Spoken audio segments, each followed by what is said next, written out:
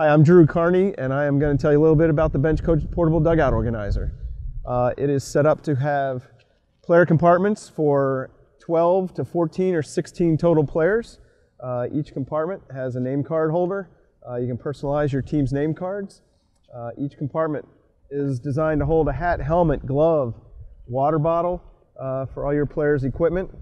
Um, the bat rack is a rubber coated steel frame, holds up to 16 bats, no matter how you use it. Uh, we've got side straps that help secure the bench coach uh, if you have windy conditions. Also helps keep the unit taut and tight to hold the equipment uh, in each compartment.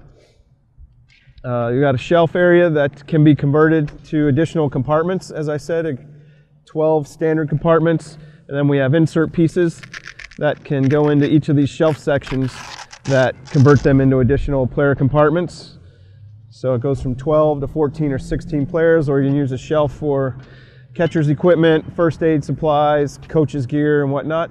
Uh, we have lineup card holder that attaches on either side.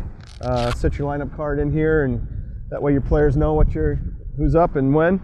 Uh, we've got pouches for practice balls, infield balls, and seeds, gum, and what you, whatever else you might want to put in there.